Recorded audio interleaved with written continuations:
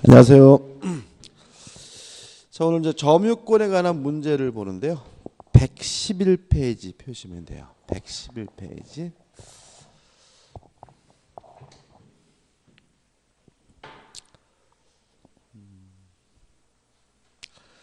자 1번입니다.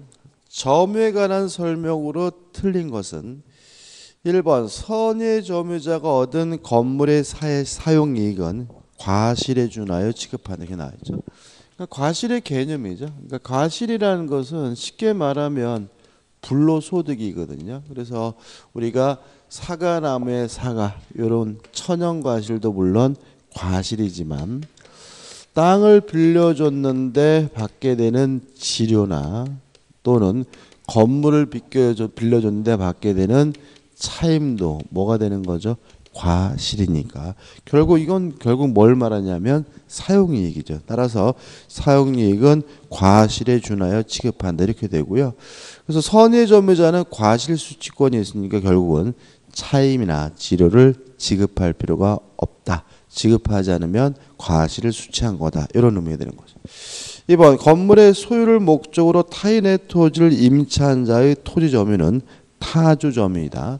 자주냐 타주냐 문제는 소유의 의사가 있느냐 없느냐 문제잖아요. 따라서 땅을 빌렸다면 땅을 임차했다면 빌린 거니까 소유의 의사가 없는 타주점이겠죠. 3번 점유물이 멸실 훼손된 경우에 선의의 타주점유자는 현전 이익 한도 내에서 배상 책임을 진다 X죠. 자 우리가 자주이고 거기다가 자주이고 선이라면 그때는 현존하는 이익 범위 내에서만 책임을 지지만 만약에 타주이거나 또는 악이라면 이때는 전부에 대해서 책임을 지거든요. 어, 또는입니다. 타주면은 선이라도 뭐죠? 전부고 어, 악이면 뭐죠? 자주라도 뭐죠? 전부기 때문에 어, 선의의 타주 점유자는 전부에 대해서 배상 책임을 지고요. 3번이 X죠. 4번 선의 점유자라도 본권에 관한 소에서 패소했어요. 자 이런 얘기죠. 남의 땅인지 몰랐어요. 그러면 재판에서 지면 이제는 몰랐더라도 악이 선의에서 악의로 바뀌는데 그 시점은 패소 판결 시가 아니라 소 제기 시부터 악의의 점유자를 본다 맞는 지문이고요. 5번 공사대금의 지급을 위해 부동산 양도담보 설정 취지로 분양계약을 체결한 경우 수분양자는 목적 부동산을 간접 점유한다. 왜냐하면 간접 점유란 자신의 물건을 타인에게 지배시키고 있는 사람을 의미하기 때문에 그렇죠. 다음은 3번입니다. 2번입니다.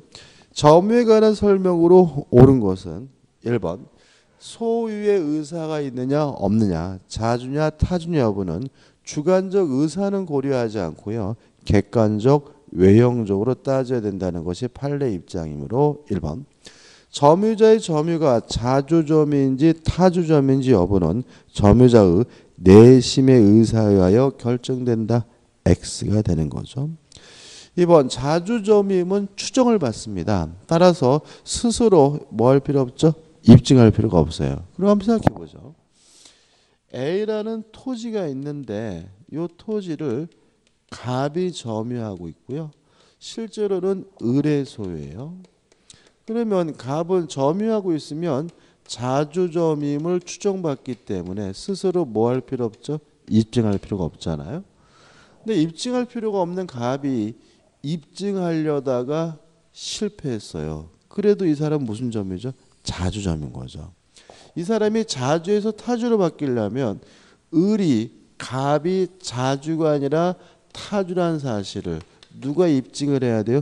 을이 입증해야 비로소 자주에서 뭐로 바뀌냐면 타주로 바뀌는 것이니까 2번 점유자의 점유권에 관한 주장이 인정되지 않는다는 것만으로도 자부점유 주장이 깨진다 X입니다. 왜냐하면 점유자는 스스로 뭐 할 필요 없어요? 주장하거나 입증할 필요가 없으니까요. 3번 점유물이 멸실 훼손됐어요. 그러면 다시 한번 자주이고 선이면 현존이익이죠. 타주면 전부고 악이면 뭐죠? 전부니까. 어, 선의의 타주점이자 그러면 타주점이니까 전부에 대해서 책임을 져야 되므로 어, 선의의 타주점이자는 이익이 현존하는 한도 내에서 회복자에게 배상 책임을 진다 X가 되는 거죠. 그 다음에 4번입니다. 자, 이런 문제입니다. 악의 점유자는 과실 수치권이 없어요. 따라서 악의 점유자가 수치한 과실은 부당이득으로서 반환을 해줘야 되고요. 만약에 악의 점유자가 과실로 수치하지 못했다면 이때는 대가라도 뭘 해줘야 되냐면 보상을 해줘야 되거든요. 그러면 악의 점유자가 수치하지 못했다는 이유로 대가라도 보상해 주려면 수치하지 못한 것에 대해서 뭐가 존재해야 되는 거죠? 과실이 존재해야 돼요. 따라서 과실 없이 과실을 수치하지 못한 때에도 그 과실의 대가를 회복자에게 보상하여야 한다는 지문도 X가 되는 거죠. 5번입니다. 자, 점유가 승계가 이루어졌어요. 예를 들어서 음, 갑이 15년을 점유했고 을이 그걸 승계받아서 5년을 점유했거든요. 그러면 을에게 선택권이 인정되죠. 자신만의 점유 5년을 주장할 수도 있고요. 합산해 가지고 20년을 주장할 수 있는데 아, 조심할 것은 만약에 갑이 악이고 을이 선이라면 합산해서 주장하게 되면 악의 20년이 되거든요. 왜냐하면 합산해서 주장하게 되면 하자가 뭐가 돼요? 승계가 되거든요. 따라서 을의 입장에서는 선의의 5년을 주장하거나 악의 20년을 주장하거나 선택할 수 있게 되므로 5번 점유자의 특정 승계인이 자기의 점유와 전 점유자 점유를 아울러 주장하는 경우 그 하자도 승계한다는 지문은 맞는 지문이고 답은 뭐죠? 5번이 되는 거죠. 넘기셔서 3번 문제죠. 점유권에 관한 설명으로 틀린 것인데 1번 이런 문제입니다. 이것도 어떻게 보면 참 중요한데 점유권을 이유로 반환을 청구하려면요 음, 반드시 뭐가 있어야 되냐면 침탈이 있어야 됩니다. 다시 말하면 뺏기거나 훔쳐갔다 같은 침탈이 존재해야지만 점유권을 이유로 뭐 할 수 있냐면 반환을 청구할 수 있거든요. 그럼 예를 들어서 갑이 을과 만나 가지고 매매 계약을 하고 갑이 을에게 스스로 인도를 해준 후에 사기를 당했다는 이유로 적법하게 요 매매 계약을 취소했다면 요 매매 계약은 소급해서 무효가 되니까 갑은 자신의 소유권을 이유로 반환을 청구하는 것이 가능합니다. 다만 점유권을 이유로는 갑이 을에게 뭐 할 수 없냐면 반환을 청구할 수가 없거든요. 왜냐하면 사기당했든 어쨌든 간에 스스로 인도한 것은 뭐가 아니기 때문에 침탈이 아니기 때문에요. 따라서 만약에 갑이 점유권을 이유 돌려달라고 소송을 제기하면 재판에서 뭐 하게 되냐면 패소를 하게 돼요. 왜 그러냐면 판사는 점유권을 이유로 소송을 제기하면 오로지 뭐만 가지고요? 점유권만 가지고 재판해주고 소유권은 뭐 하잖아요? 고려하지 않거든요. 1번 점유권에 기인한 소는 본권에 관한 이유로 재판할 수 있다. X 점유권을 이유로 소송을 제기하면 오로지 뭐만 가지고요? 점유권만 가지고 판단해 주고요. 소유권은 고려하지 않습니다. 답은 1번이죠. 2번 점유자는 소유의 의사로 선의평원 공연하게 점유한 것으로 추정이 되고요. 2번, 3번 전후 양시에 점유한 사실이 있는 때 그 점유는 계속된 것으로 추정되고 4번 점유자가 점유물에 대하여 행사하는 권리는 적법하게 보유한 것으로 추정을 하고 5번 전세권 임대차 기타 관계로 타인으로 하여금 물건을 점유하기로 한 자. 다시 말하면 자신의 물건을 타인에게 지배시키고 있는 자는 간접으로 점유권이 있다. 맞는 질문이 되겠죠. 4번 문제입니다. 틀린 것을 찾는데요. 음, 일단 2번을 보시면 매매 계약을 원인으로 토지 소유자로 등기한 자는 통상 이전 등기할 때 그 토지를 인도받아 점유한 곳으로 보아야 한다. 일단은 뭐죠? 맞는 지문입니다. 다시 말하면 어, 어, 인도 시기와 등기 시기가 꼭 같은 건 아니겠죠. 그렇지만 일단 등기할 때 인도받아서 점유한 곳을 일단 보겠다 이런 의미가 되고요. 4번을 보시면 악의 점유자는 그의 잘못 없이 과실 훼손 또는 수치하지 못했어요. 또 나와 있죠. 악의 점유자가 수치하지 않았다는 이유로 대가를 보상하려면 수치하지 못한 것에 대해서 뭐가 있어야 돼요? 과실이 있어야 되는데 잘못이 없대죠. 과실이 없대죠. 따라서 이때는 대가를 보상할 필요가 없으므로 그 과실의 대가를 보상해야 한다. X가 되는 거죠. 나머지 부분은 반복이죠. 5번 문제입니다. 점유에 관한 설명으로 옳은 것은 1번 점유 매개 관계 그러면 뭐가 떠올라야 되냐면 임대차가 떠올라야 되거든요. 우리가 점유 매개 관계라는 말은 타인의 물건을 아 자신의 물건을 타인에게 지배시키는 관계고요. 가장 대표적인 것이 뭐죠? 임대차예요. 그러면 임대차에 의한 직접 점유자는 자주 점유가 아니라 뭐죠? 타주 점유일 테니까 1번은 뭐죠? 맞는 질문이 되는 거예요. 답은 뭐죠? 1번이죠. 2번 점유하고 있더라도 추정이 안 되는 게 있습니다. 무과실은 추정되지 않으므로 과실 없이 점유한 것으로 추정된다. X가 되고요. 3번 간접 점유 중복적일 수가 있거든요. 3번 보시면 갑이 을로부터 임차하는 건물을 그러면 을은 간접 점유자, 갑은 뭐죠? 직접 점유자죠. 을에 동의 없이 병에게 전대했어요. 그러면 이제 갑은 뭐가 돼요? 간접 점유자고 병이 뭐죠? 직접 점유자죠. 그러면 다시 말하면 요 물건에 대해서는 갑도 간접 점유자고 을도 뭐죠? 간접 점유자니까 을만이 간접 점유자이다. X가 되는 거죠. 4번 갑이 을과의 명의신탁 약정. 자, 명의신탁 약정이라는 것은 이름을 빌린 거죠. 그러면 남에게 이름을 빌려주고 그 물건을 점유하고 있다면 남의 물건이 뻔히 알고 있는 사람이니까 이 사람의 점유는 자주가 아니라 타주 점유이기 때문에 4번도 뭐죠? X가 돼요. 그 다음에 이제 우리가 한번 생각해 보자고요. 자, 매매 계약을 통해서 점유를 했으면 자주고 매매 목적물이 무효여도 자주고 타인 소유물이라도 자주거든요. 근데 만약에 무효임을 타인 소유물임을 알면서 점유를 개시했다면 더 이상 자주 점유가 아니라 뭐죠? 타주 점유가 되는 거거든요. 그럼 예를 들어서 요만큼의 땅을 샀는데요. 요만큼이 남의 땅이에요. 타인 소유물이죠. 근데 점유를 개시하게 된 이유가 뭐죠?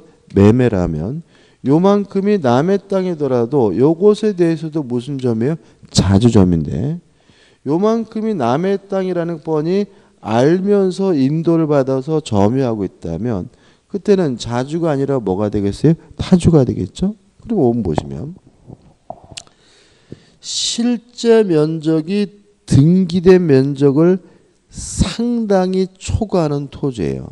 다시 말하면 조금 넘은 게 아니라 뭐죠? 상당히 초과됐다면 요 초과됐다는 사실을 매매하면서 어떻게요? 알았겠죠. 음, 당연히 그래서 자주가 아니라 뭐죠? 타주입니다.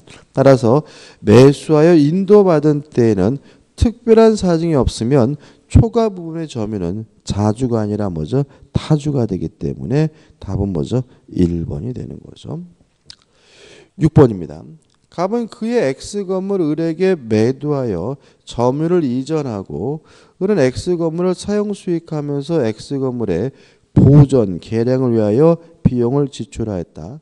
갑과 을 사이 계약이 무효예요. 자 그러면 지금 아 을이 갑의 건물을 뭐 하고 있었어요? 점유하고 있었는데 그 점유하게 된 원인이 무효라면 아무런 이유도 없이 남의 물건을 점유하고 있는 사람이니까 점유자와 관한 민법 규정이 뭐가 되겠어요? 적용이 되겠죠.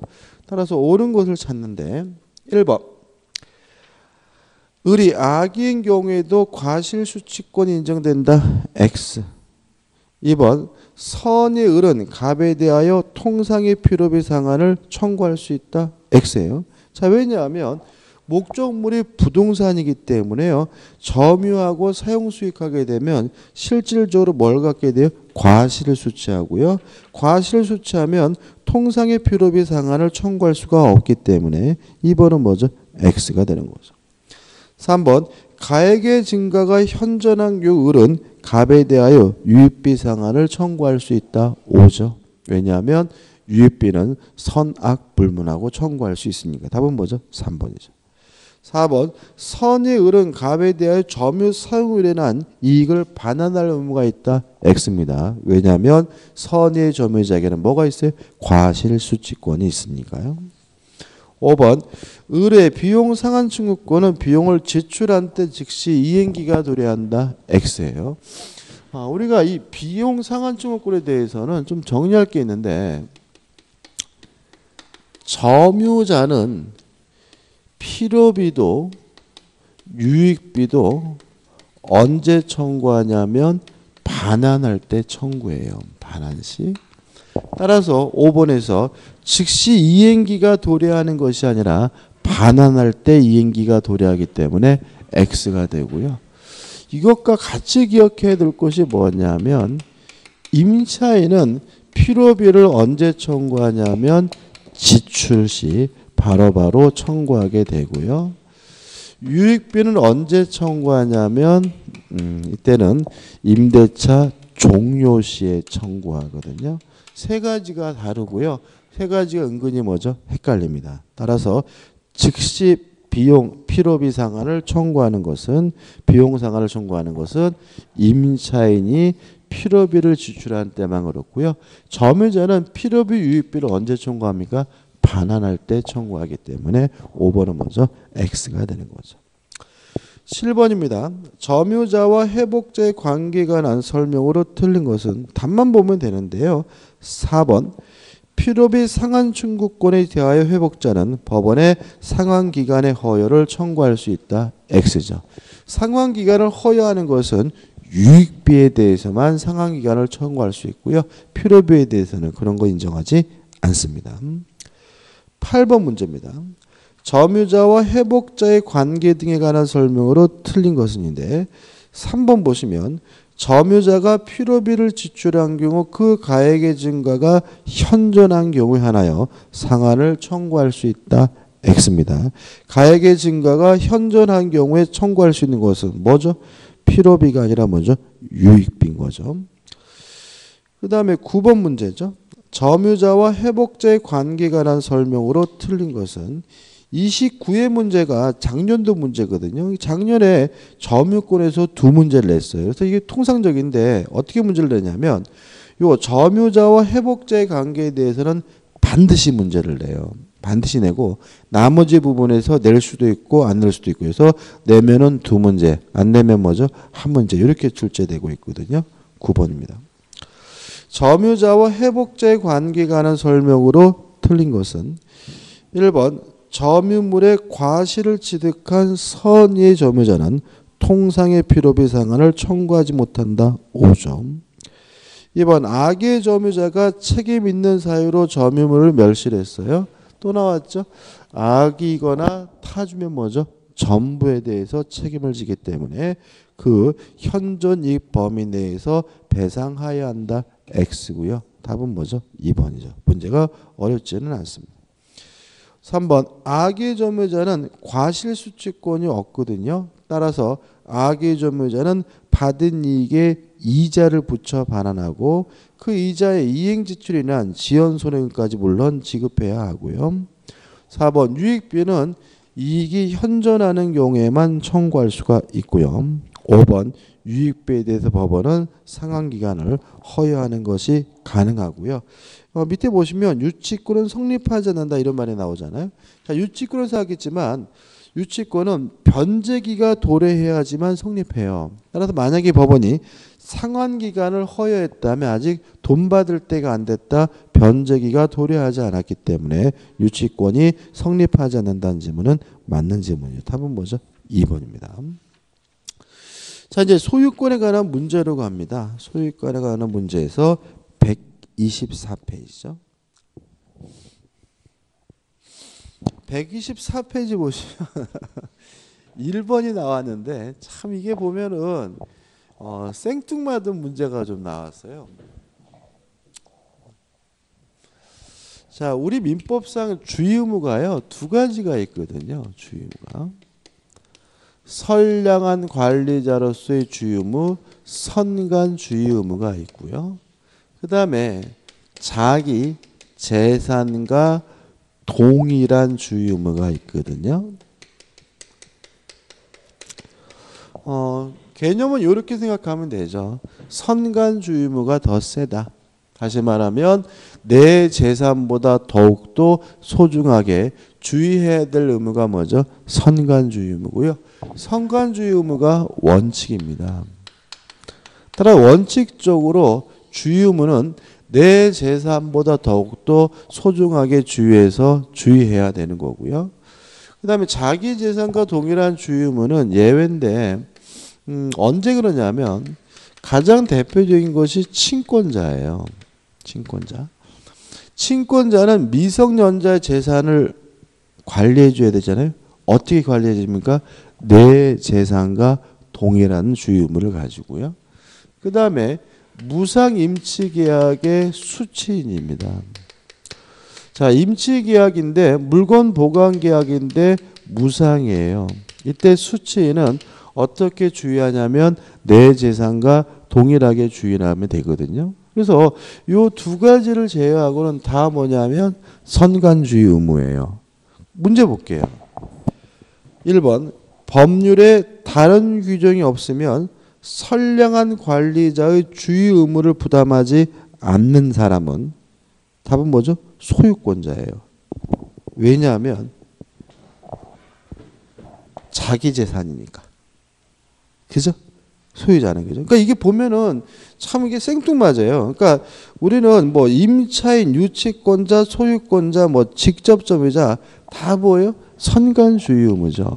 근데 자기 재산과 동일한 주의무라는 말 자체는 내 재산은 뭐죠? 내 재산으로 주의하면 되는 거거든요. 선관주의무가 아닌 거죠. 답은 뭐죠? 어, 4번 소유권자가 되고 이것도 작년도 문제인데 굉장히 많이 틀렸겠죠. 왜 그러냐면 자꾸 이거를 그냥 뭐 외우려고 하시거든요. 그러니까 개념을 생각해 보시면 의외로 쉽게 접근할 수가 있습니다. 2번 문제입니다.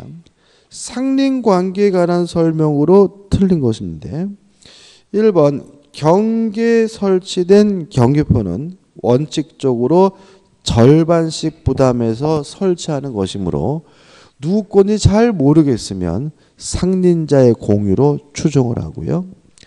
1번은 상식적인 거죠. 토지 소유자는 이웃 토지로부터 자연히 흘러오는 물을 막지 못하고요. 3번 토지 소유자는 처마 물이 이웃에 직접 낙하하지 않도록 적당한 시설을 하여야 하고요. 그러니까 2번, 3번 같은 거는 그냥 상식으로 접근하는 겁니다. 4번 건물을 축조하면 특별한 간섭이 없으면 경계로부터 그 건물의 가장 돌출된 부분까지 반 미터 이상 거리를 둬야 돼요. 다시 말하면 경계로부터의 건축은 경계로부터 반 미터 이상 거리를 둬야 되는데 위반하면 변경이나 철거를 청구할 수 있는 게 원칙입니다. 5번 토지의 경계에 담이 없는 경우 특별한 사정이 없으면 없는 한 인접지 소유자는 공동 비용으로 통상의 담을 설치하는데 협력할 의무가 없다가 아니라 어떻게 있다겠죠. 그죠? 답은 5번입니다. 3번 문제입니다. 틀린 것을 찾는데요. 1번 담 설치 비용은 반씩 부담하고요. 설치를 위한 측량 비용은 면적에 비례해서 부담하기 때문에 1번은 뭐죠? 맞는 질문이고요. 2번 주의 토지 통행권이 인정이 되면 원칙적으로 보상을 해줘야 되거든요. 다만 토지의 분할이나 일부 양도로 인해서 맹지가 된 경우에는 뭐 할 필요 없죠? 보상해 줄 필요가 없고요. 이걸 우리가 무상주의 토지 통행권이라고 해요. 제가 한번 읽어볼까요?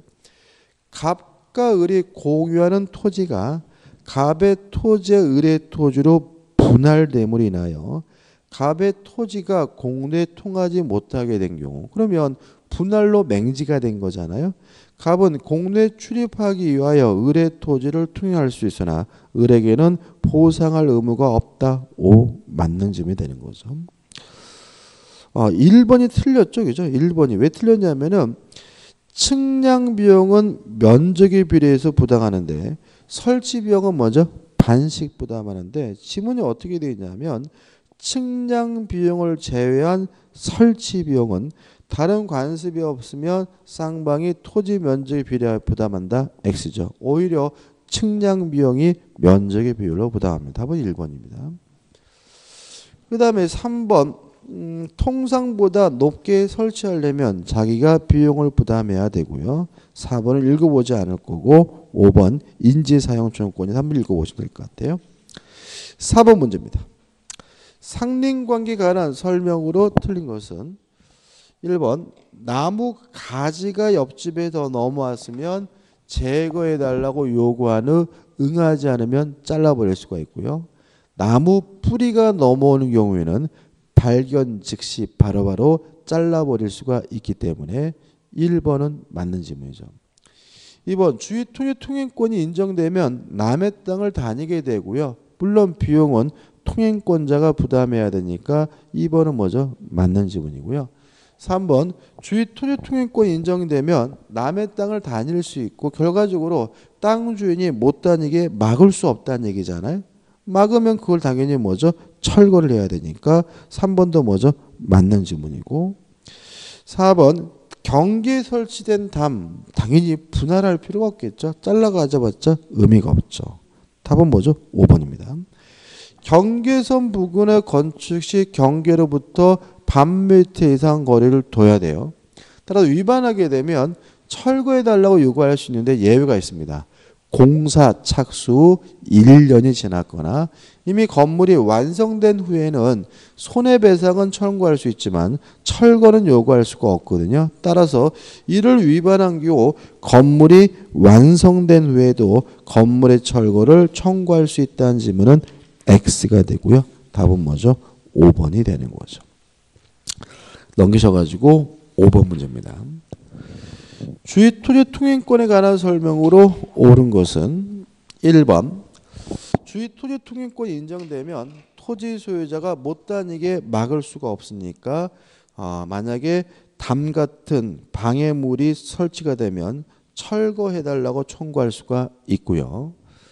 그 다음에 2번 어, 토지 분할이나 일부 양도로 인한 무상 주의 토지 통행권은 직접 당사자 간에만 인정된다는 것이 판례 입장이기 때문에 2번 토지 분할로 무상주의 토지 통행권을 취득한 분할 토지 소유자는 그 토지를 양수한, 양도한 경우 양수인에게는 무상주의 토지 통행권이 인정되지 않는다. 오 맞는 질문이죠. 다시 말하면 직접 분할의 당사자 직접 일부 양도의 당사자에게만 무상주의 토지 통행권이 인정이 됩니다. 답은 2번이죠. 3번 주의 토지 통행권은 공로로 출입하는 것이 불가능한 경우에 인정이 됩니다. 따라서 좀 더 편리하다. 좀 더 지름길이다. 이런 이유만으로는 주의 토지 통행권 인정되지 않으므로 3번은 뭐죠? X가 되고요.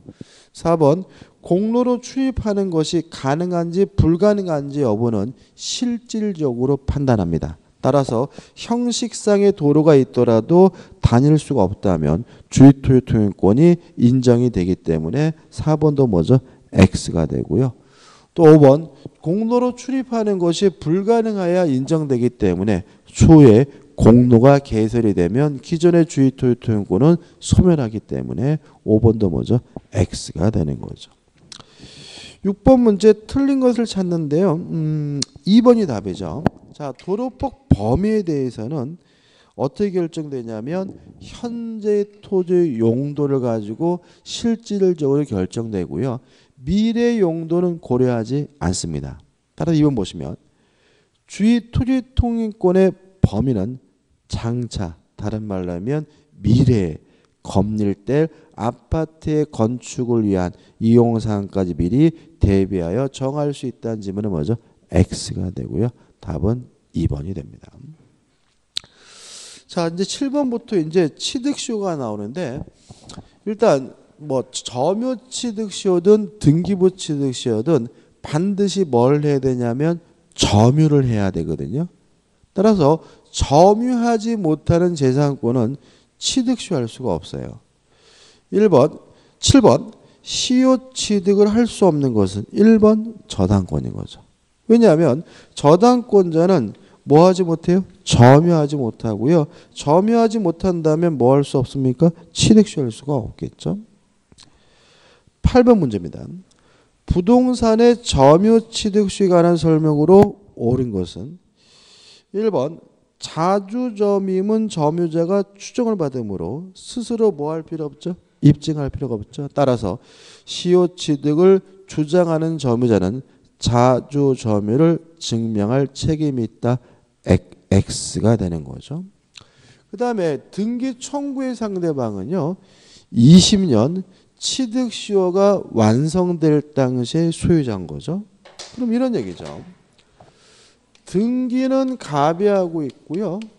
점유는 을이 하고 있는데 이런 상태에서 20년이 되면 을에게 소유권이 생기는 것이 아니라 이전 등기해 달라고 요구할 수 있는 등기 청구권이 생기고요.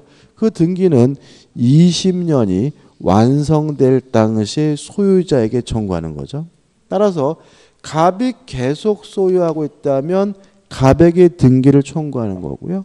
중간에 갑에서 병으로 소유권이 넘어갔다면 병에게 뭐죠? 등기를 청구하는 거고 또다시 병에서 정으로 소유권이 넘어갔다면 누구에게? 정에게 등기를 청구하는 거죠. 어차피 등기는 완성 20년이 완성될 당시 소유자가 등기 청구의 상대방이잖아요. 2번. 시효 진행 중에 목적 부동산이 전전양도된 후 시효가 완성됐어요. 그러면 완성될 당시 소유자는 누구냐면 마지막 산 사람이 뭐죠? 완성될 당시 소유자니까. 시효 완성자는 최종 등기 명의자에 대해 이전 등기를 청구할 수 있다. 맞는 지문이고요. 답은 뭐죠? 2번이 되는 거죠.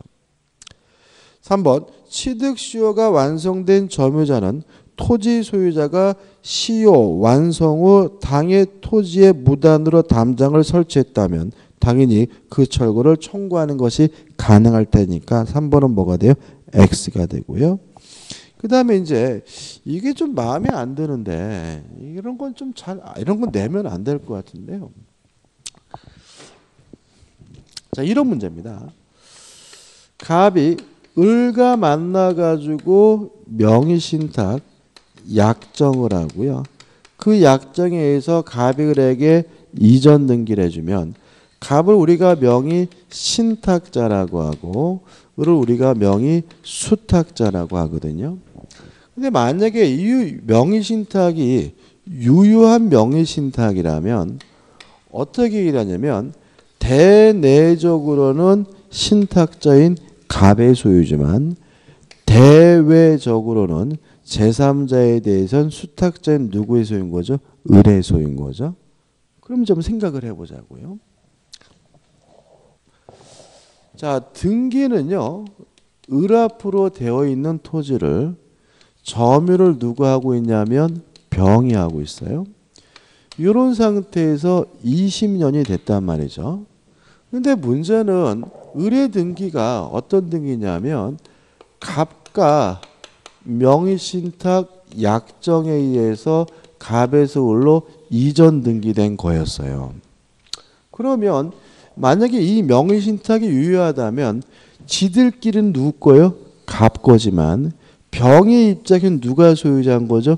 을이 소유자니까 20년이 완성될 당시 소유자 누구죠? 을이니까 병은 취득시효가 완성되면 누구에게 이전 등기해 달라고 청구하는 거죠? 을에게 이전 등기해 달라고 청구하겠죠. 근데 문제는 요 명신탁이 약정이 해지가 됐다는 이유로 21년 됐을 때 을에서 갑으로 뭐가 이루어졌냐면 이전 등기가 이루어졌다면 병의 입장에서는 완성될 당시의 소유자가 누구였어요? 을이었는데 소유자가 갑으로 바뀐 거죠. 따라서 병은 갑에게 이전 등기해 달라고 뭐 하지 못해요? 청구하지 못합니다. 왜냐하면 등기 청구의 상대방은 완성될 당시의 소유자에게만 청구하고요. 병의 입장에서는 누가 소유자인 거죠? 수탁자가 소유이기 때문에 그렇습니다. 그럼 지문을 보시면 예? 병은 그러면 이제 못 못하는 거예요. 예, 못하는 거죠, 그죠? 지금 보시면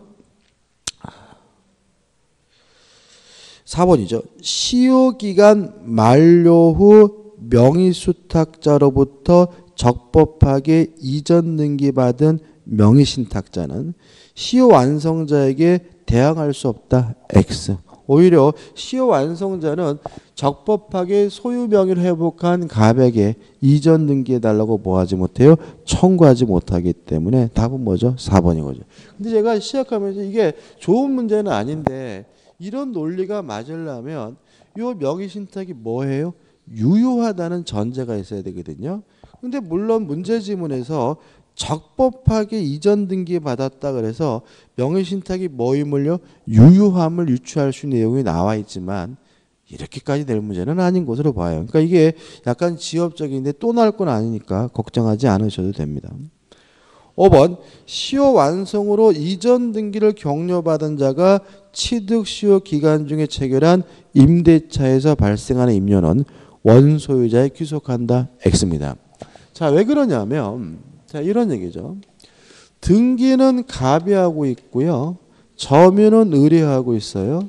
이런 상태에서 20년이 지나서 을이 자기 앞으로 이전 등기가 이루어지면 요 취득시효가 완성됐다는 이유로 을은 소유권을 갖게 되는데 문제는 그 시기는 등기한 때가 아니라 점유를 개시한 때로 뭐 하게 되죠? 수급하게 되죠. 따라서 점유 기간 동안의 과실도 누구 거요? 을건 거죠. 점유자권자. 따라서 원소유자에게 귀속한다는 지문은 X고요. 답은 뭐죠? 2번이 됩니다. 넘기셔서 9번이죠. 부동산의 점유 취득税관한 설명으로 틀린 것은인데 3번을 보시면 자 이런 문제입니다. 아까 질문을 하셨는데 그러면 이런 거면 다시 한번 볼게요. 자, 만약에 음 20년이 완성될 당시 소유자는 을인데 21년이 돼서 을에서 갑으로 소유권이 넘어가면 병은 갑에게 이전 등기해 달라고 뭐 하지 못해요? 청구하지 못하죠.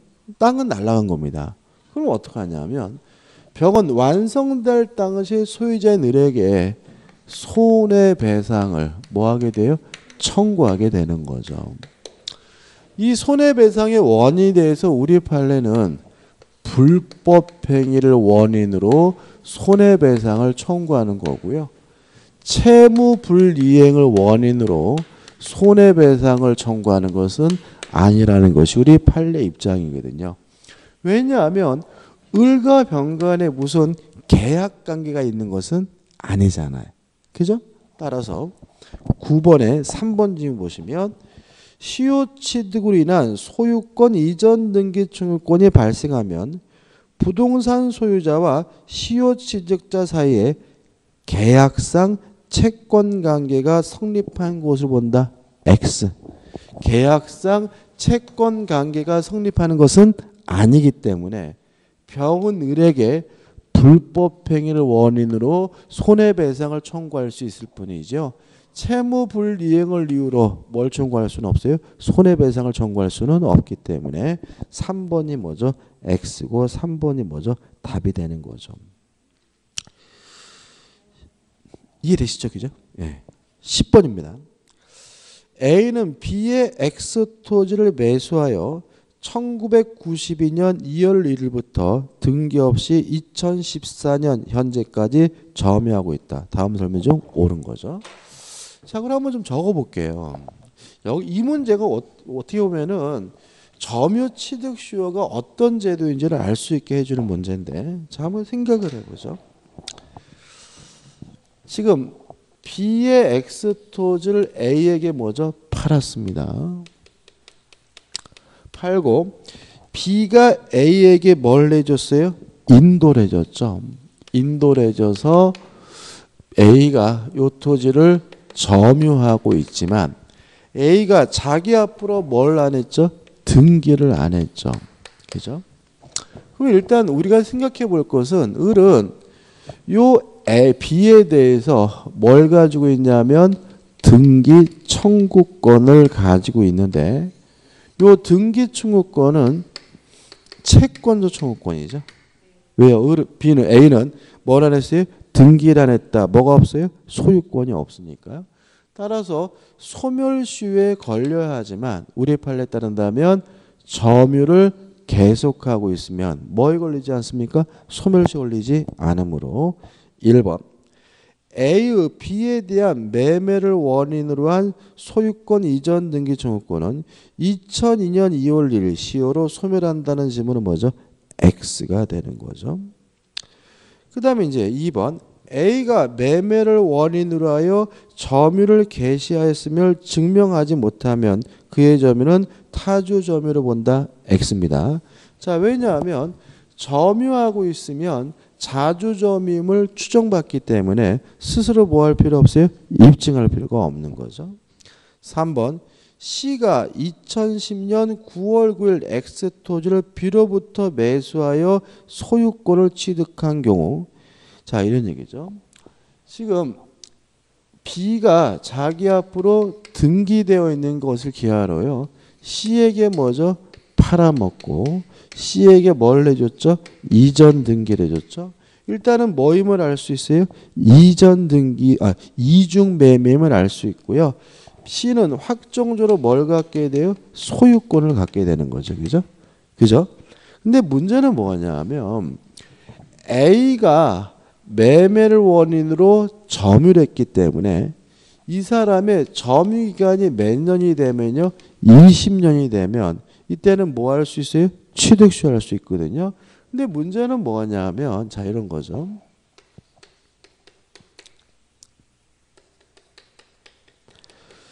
만약에 20년이 되기 전에 C가 소유권을 취득한 거라면 완성될 당시 소유자인 C에게 뭐 할 수 있어요? 등기를 청구할 수 있지만 20년이 지난 후에 소유권을 취득했다면 A는 C에게 뭐 할 수 없어요? 등기를 청구할 수 없거든요. 그럼 계산해 보죠. 지금 이 사람이 1992년도에 점유를 시작했으니까 20년이 되는 시점 언제죠? 2012년이에요. 다시 말하면 2012년에 뭐죠? 취득쇼가 완성이 되고요. 어, C는 언제 샀냐면 2010년도 샀잖아요. 그러면 20년이 되기 전에 C가 소유권을 취득했기 때문에 완성될 당시의 소유자는 누구죠? C니까 A는 C를 상대로 취득서가 완성됐음을 이유로 등기를 청구하는 것이 가능하기 때문에 A는 X 토지를 시효 취득할 수 없다는 지문은 뭐죠? X가 되는 거죠. 3번 A가 2013년 3월 3일 D에게 X 토지를 매도하여 점유를 이전해 줬어요. 이제는 누가 팔아먹은 거예요? A가 팔아먹은 거죠. A가 누구한테요? D에게 팔아먹었죠. 그러면 여기서 우리가 B에서 D로 등기가 이루어지면 뭐가 돼요? 중간 생략 등기가 되는 거잖아요. 이 문제 좀 어렵습니다.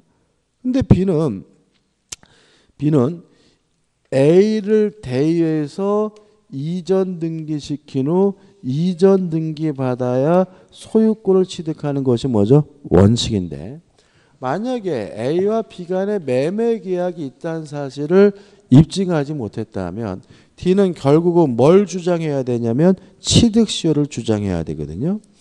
근데 여기서 좀 문제가 있습니다. 자, 보셔. 여기로 다시 왔어요. 2012년이 됐을 때 의뢰에게 A는 이전 등기해 달라고 청구할 수 있는 뭐만요? 채권을 갖게 되고요. 2013년가 됐을 때 A가 D에게 팔아먹었다면 결국은 D가 취득하는 것은 뭐예요? 채권이기 때문에 직접 바로 C에게 이전 등기해 달라고 청구할 수는 없고요. A를 뭐죠?